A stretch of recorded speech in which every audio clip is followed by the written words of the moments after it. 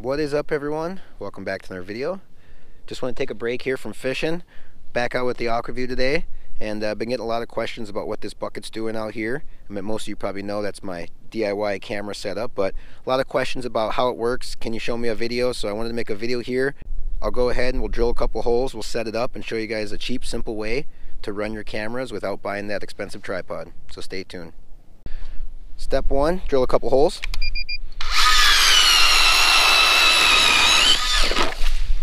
I like to keep, for my Revolution, I like to keep them about this close. The new HD camera, I found out I, I push it back a little bit due to how it's zoomed in, but I like to keep them. You guys will get an idea how close you do them, but pop a second one for the camera.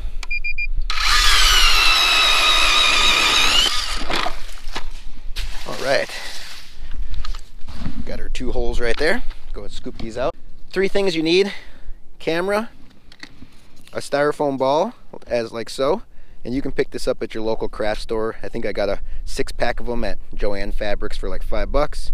And a bucket, a five gallon bucket that you don't use anymore. So, or any bucket I should say would work.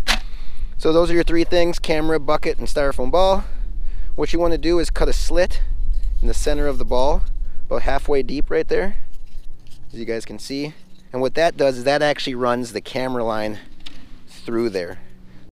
Then on your five gallon bucket here, I cut a hole at the top and your hole is obviously going to vary on the size of your camera.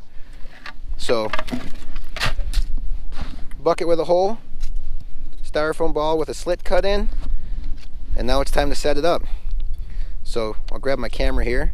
And like I said, this works well with the micro cameras. You know, the bigger cameras have a way bigger lens, and I'm not sure if you can find a styrofoam ball big enough, but if you can, this would work as well. So what you're going to want to do is take your two holes, put the bucket over one of the holes, which covers the hole up too, so it actually has a double purpose. I like it because uh, it protects from anything falling down the hole. And then once that's covering up the hole, you take your camera, position it in whatever direction you want. I have it in the 90, so it's looking right at my bait. And you'll send that right down the center of the hole.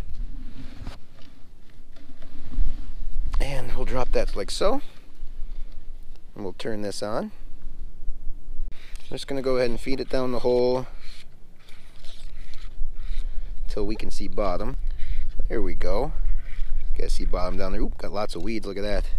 All right, once you've located bottom, you're want to take your styrofoam ball that you have that slit cut in. Go ahead and run that camera cord nice and tight into that slit.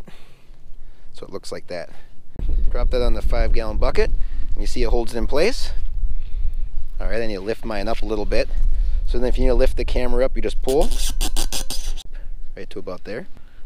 So once you got your bucket set up, your camera ran down, and your ball secured on where you want it, you're going to want to go ahead and find your bait next. So go ahead and grab your rod and bait, send her down the hole, and what I'll do is I'll go until I hit bottom. So we'll send that down there. Alright, once I hit bottom, I'll reel it up a little bit, and I'll just start aggressively jigging. And then I'll take my hand here and I'll pan the camera. You guys can see a pan. I'll start looking for my jig. Oh, lucked out right away. There it is. So as you can see, there's my jig there. So I'll position that right to where I want it. I think that looks great. Alright, and we're fishing. So just wanted to make a quick video here, guys. I can't take credit for this. I saw someone else do this online like five years ago and it's been working for me ever since. So I thought I would share it for those that are out there looking for options for tripods instead of spending 60 bucks on what's out there. This thing is virtually free if you have the supplies at home. So hope you guys enjoyed. Stay tuned. If you like underwater footage, you're not going to want to miss out. I love doing it and we're going to be doing it all season long. Hopefully we're after some walleyes next weekend on Mille Lacs and then pike and bass in some of the local lakes. So stay tuned guys. It's going to be a good one and we'll see you back out for some early ice.